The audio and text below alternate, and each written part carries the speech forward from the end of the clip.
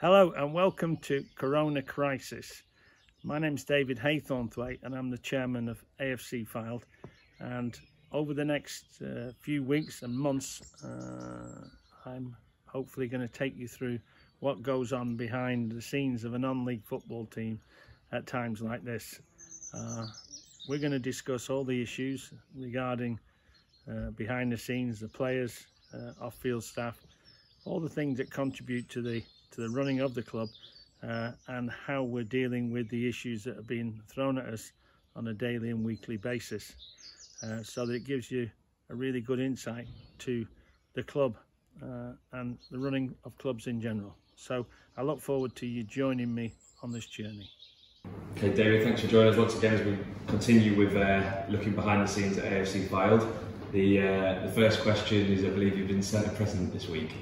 I have, yes. Uh, obviously, uh, the, uh, the, the, news uh, came through uh, after we'd done our interview last week. We always, as you know, had to do our interviews Thursday and then sort of release it over over a period of, of the next week. Uh, we're back again on, on, Thursday, aren't we? But obviously, the, the, vote sort of came through um, on the fact that you know Barrow had been um, promoted and uh, you know, of course, uh, we're one of the, the, clubs that they that they love to to hate, and in a nice way, I think. Hopefully, in a nice way. but I, I had been away on, on Saturday down. you know, I have a house in, in the Lake District and uh, not very far from uh, from Barrow in actual fact, probably about uh, about 20 miles and therefore I think in that sort of uh, in those villages and around where I live, uh, there, uh, there must be, I assume there's some. Bring it up here, Lucy, if you would. There's some. Uh, excuse me, let's get my coffee. Thank you. Uh, there are some some Barrow, uh, obviously some Barrow supporters, and somehow it's fed through that you know that's that's where I live. Uh, so they've sort of found my house and uh, so when I arrived home on, on Saturday uh, I had to laugh because I've got sort of two gateposts that drive into my house and, and, and perfectly placed over. Uh, one of the gateposts was a, was a Barrow scarf and uh, with obviously the obligatory 2022 uh, written on it and uh, scribbled out to, to read 2042 uh, which is their way of having a, having a joke about our 2022 so it was uh, it put a put a smile on my face, and I always I always like someone who's got a bit of creativity. So whoever did it, uh, well done. Uh, it was uh, it gave me gave me a good laugh. Thank you. And you mentioned well that that's the side of football. Let's get the banter side of it. Yeah, of course it is. It's uh, you know that's what it's, football's about, isn't it? The banter. With, with, without that, I mean, we've seen that you know in, in, in a full time uh, in, in, a big game, it's the singing backwards and forwards, and you know the banter between the crowd. We've, we've missed that, haven't we, on, uh, on, on, the football? Uh, since since they've been back in the Premier League, uh, they, have tried to mimic the crowd. I think they've done a reasonable job, but uh, you, miss that banter, and and certainly uh, you know our level. Uh, you know when you put that on your shirt, you, you know you're going to take a little bit of stick, and you've got to you've got to you know take the rough with the smooth sometimes. So I have no problem with that. Right, and uh, so one person there that we do need to speak about, you mentioned him previously, was Jake Simpson, but Jake, Jake departs over the coming days. Um, we will we will manage to catch up with Jake and speak to him about what he's been up to this month. But, yeah. uh, but I know you obviously you'd like to say a few words as well. Yeah, well, Jake was uh, you know one of those guys who's uh, when I say we you know we went uh, as a, as a club, uh, you know as you progress through the leagues, as, as, as you progress uh, on the field and off the field you're always trying to improve, uh, you, you, know, in, in, every in every aspect. And uh, Jake was someone that Dave Chally brought in a couple of years ago. Uh, I think it's fair to say he was our first sort of strength and, and conditioning coach we had. We didn't have one before Jake, uh, and uh, you know it was it was something I, I, I must admit I I kind of questioned at the time. I was, you know, strength and you know, I mean, we are professional, but we're in the National League, not the Premier League. So, uh, you know, it did occur to me that it might be shall we say, a luxury. Uh, uh, maybe i have got to have a strength and conditioning coach to be a real team sort of thing. Uh, but I have to say is that you know there's no doubt about it. Uh, Jake quickly, uh, you know, uh, showed his worth to the club and you know getting everybody on the right diets, getting the you know the, the, the information that the manager needs to know to help him be successful. all the stats, all the data, uh, so you know he's, he's, he's, done a great and he's, he's, you know he's a young lad making his way in the world. Uh, I don't know he's maybe 23, 24 is he something like that, maybe a bit older. But you know he's he's great. He's been able to come to Fylde, and I've said many a time, like lots and lots of people, you know we are stepping stone, hopefully to greatness. You know whether that's a manager, a centre forward, a goalkeeper, if they can come here and it's a step up from where they come from, or it's the first job, in which I think with Jake it was his first real job on that road. Uh, hopefully, we, we, help him progress, and, uh, and I know you know he's, he's, done a good job, and uh, you know wish him all the best uh, wherever he decides and wherever he ends up. I, I think he's had a, an offer. I heard someone told me the other day he's had an offer to, I think, to go to Hartlepool. Whether that's going to happen, I hear there's uh, know, carnage everywhere at the moment, as we've talked about. I, I did read something on, on the Hartlepool website. I think four or five of their best players have, have been let go. Uh, I'm sure they're not let go because they wanted to let them go, but because obviously the wages that they're now offering. There was something yesterday that I read, uh, and I've sort of had reasonably confirmed that Blackpool uh, had asked their players uh, to take a 60% pay cut, 60 not 16, 60% pay cut uh, against you know future contract, and a lot of them would be leaving. So those kind of things that we've talked about, Adam, uh, you know, are, are starting to uh, starting to filter through now. So. Uh, if he does up, end up at Hartlepool, you know, I wish him, uh, I wish him all the best, and, and where, wherever he ends up. But uh, it may be that uh, you know, strength and conditioning coaches unfortunately, uh, will be, you know, one of the first jobs that gets cut when you decide. I mean, ultimately, if you've got a football club and you cut to the bare bones, you need a manager and a physio, and you can manage with that. that, that those are the facts. If you only had a manager and a physio, you could manage. All the others become additions. Uh, and so Jake may, may, may find it a little bit harder. That's not the reason we've let him go, as I've said. Uh, and, and certainly, um, you know, if we stay in the National League, which is looking a lot less likely, then uh, we, will we'll go with a, strength and conditioning coach. But, but, if we get relegated, we won't we won't be able to afford that luxury. So that, that's the kind of balancing. And what happens when you get relegated, or potentially you know, it changes what you can afford, how you have to to uh, discipline yourself and that. Well, we can hear from him now. Good. Jake, you're in your last week with the club. Um, I think the chairman and other members of staff have been very vocal that they, they're sad to be losing you. Um, and we just want to look back at some, some memories that you have from during your time here. So, mm-hmm. can you sort of sum up your time at the club for us? Yeah, I mean, it's been a, a quick couple of years, a strange ending to it all, I guess, and what's gone on recently. But from day one, um, you can see what, what this club wants to do, where it wants to go, and that was a big reason that I came here in the first place.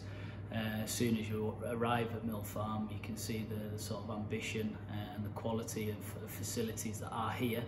Um, and again, on, on the pitch side of things, I think last year was obviously very close to getting the, the ultimate goal of, of achieving the Football League. But in the meantime, we had some great memories last year, some brilliant games, brilliant performances, silverware to finish it off. Um, and unfortunately, as far as the league goes, we were just one one step short. Um, this season on the pitch, I think it's quite clear to see it hasn't quite gone to plan. Um, but again, as an environment to work in, um, obviously I was brought to the club under Shally um, and then worked with Jim and his staff. And to a man, they've all been absolutely brilliant. I've loved every minute of it, um, and I've been very open and honest with Jim during my, my decision making. Um, and what I'm doing is no reflection on any person that I've worked with um, at the football club at this time. Um, so now I've had some great memories, some brilliant days, more so last year, not going to lie, but again, coming into the environment to work with these sort of people has, has been brilliant for me. And if you could, it's always a tough question, and I'm sure there'll be quite a few, but give us one overall memory from from start to finish, there might have been a specific game where you woke up that morning and you know you felt good all day. And... Not sure I woke up the next day feeling great, but um, again, obviously the FA Trophy final was brilliant. Um, but one that actually stands out more so is probably the Solihull win uh, in the playoffs. Um, getting back to the ground, and I think myself and Luke at the time had a few too many uh, drinks to celebrate. But that that was where you really got a feeling that there was something special going on with that group. Um, as I said, unfortunately, we didn't quite get across the line on the day. We all admit Salford were just were just better than us. Um, but that was one one day I sort of really had to sort of you sort of pinch yourself and go, we're going to Wembley, we've just won in the playoffs, um, and there was a really really good feeling about the place. So I have to say, as much as the trophy and having a, a medal to show for it was was obviously a, uh, something I'll have for the rest of my career. I do think that day coming home from Solihull, everyone was in was in a really good place. It's very easy for, for me to say amongst many others, Jake does fitness, what does your role actually entail? Um, again, my job title is the strength and conditioning coach, so I'm responsible for making sure our team are one available for selection and two ready to perform physically at the best of their abilities. Um, I guess again, there's been some very nice comments made by lots of people, and they are greatly appreciated because I'm working at an, an elite level, and to be sort of appreciated in that sense, it has been really good and nice to hear, if you like. Um, but yeah, I think as a whole, my job kind of entails a little bit more. Um, I'm sure the lads will tell tell you I'm the one who gives them all the plans, pesters them to be at a certain place at a certain time. Um, but again, I kind of try and help out in every way possible, um, and whether that's be organising the WhatsApp group, whether it's organising meal times, whether it's making sure everyone understands the session for the day and make sure they know where they need to be and keeping everyone all on the same page, linking up the management team and the players. Um, again, I've kind of just approached the job as trying to help out. Um, this at the level we're at, um, you don't have staff for staff's sake. You, you run quite a tight ship in terms of staff, um, and everyone again, everyone I've worked with, we all sort of cover all bases. We all try and make sure that this this football club was was working as fluidly and as efficiently as possible. And um, I guess I was part of that process and speaking to the lads and keeping them all organised. David told us that when you first came in and Charlie brought you in, when he heard the term strength and conditioning coach, he thought it was a bit of a luxury. Mm. But he said he very, very quickly realised how much of an important role you were playing within the club. So that must make you feel great in the sense of you came in and started a department and it's now viewed so highly? No, that's it. Like I say, um, it is quite a new concept, strength and conditioning, sports science, been around at the top level um, for, for quite a few years. Um, but again, it, it's worked its way down and, and people see the importance of it. Um, again, a lot of people talk about the 1%, the little, little differences that people can make, and I think that's although that's a part of my job, it's making sure we actually get all the basics right as well and the players are fit, strong and can deal with, because what they're being asked to deal with is quite a lot um, and they need to make sure their body is ready for that. Um, so again, I say it is, is quite a new concept in relation to how long football's been about. Um, and again, my job was to prove that this job is, is worth having and having someone in the club who, who can sort of tick all these boxes and make sure that the manager has a fit, strong and healthy squad to pick from and I'm sure you will agree, none of us could have predicted the season would end in this way, mm. but should we have been allowed to finish it, were you confident in the fact the results were improving? Yeah, I mean, it's easy to say now in hindsight, but again, from the times under Charlie when we were struggling, when Jim came in and we had a bit of a pick up and then we sort of tailed off a little bit, I always, always remained confident in the group of players we had. Uh, anyone who's been to our games will know how tight a lot of them were. We were coming out on the wrong end. And over time, that, that doesn't become luck. That, that's because of, of obviously where we were and we deserve to be where we are in the table. However, I fully have confidence in the group of players that we had at this football club. And again, the games just before we actually went into lockdown, uh, two wins and a draw, one of which against one of the top teams in the league, we sort of had seen a little bit, a bit of momentum being built. Um, again, unfortunately, we'll never be able to to prove my confidence. Um, and again, all I can say is from knowing the group of people, the group of players and staff who were working day in, day out, I fully believe this football club would have survived and I think we would have done it with a couple of weeks to spare looking at our fixtures. and looking ahead, we still don't know what division we'll be in, and obviously, sadly, you won't be here, but I'm sure you'll be watching from afar. And you know the players better than Mm. pretty much anyone at, at the club at the minute. Just, I'm sure you back them to, to bounce back, whatever. Yeah, I mean the, the quality. I don't think you can deny the quality that's at the club. For whatever reason, this season it hasn't quite clicked. It hasn't quite worked in a way that everyone sort of hoped and, and wished for.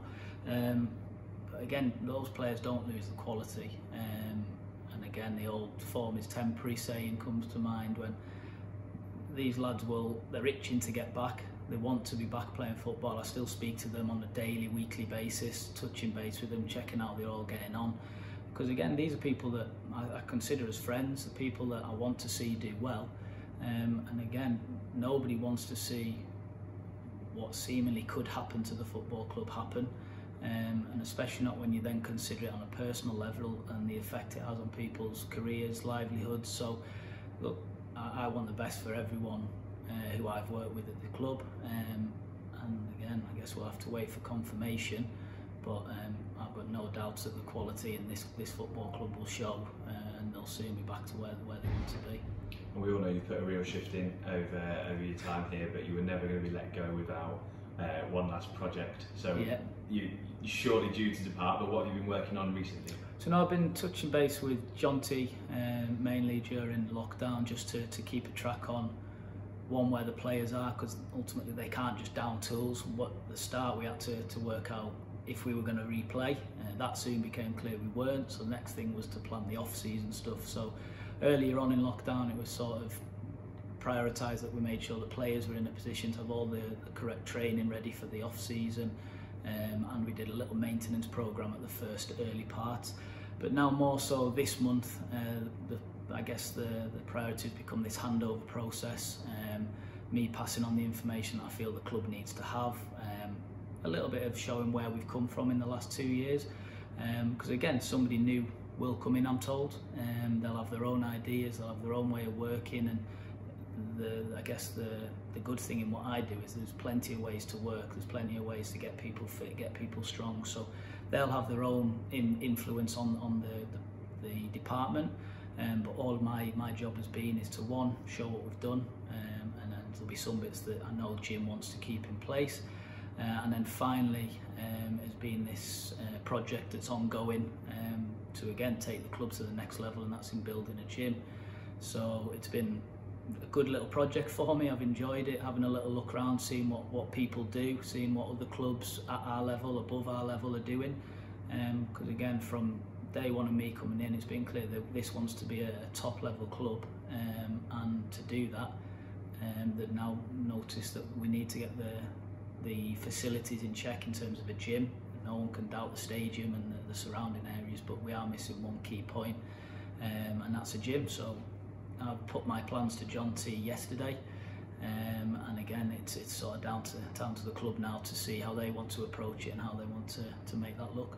You tried to name it Jake's Gym. I'm not sure that'll sell very well, but no, like I say, it's all it's all just to help out. Um, again, my big thing is I, I wanted to leave on good terms because I've loved loved working here, um, and again to do that, I've got to fulfil my role um, and, and do what's right. So I, I believe I've given the best advice I can, um, and hopefully they, they can see that sort of come to come to light in the next year or so. I think I speak on behalf of everyone and say it'd be a huge loss to the club, and we wish you all the very best in the future. Thank you, appreciate that.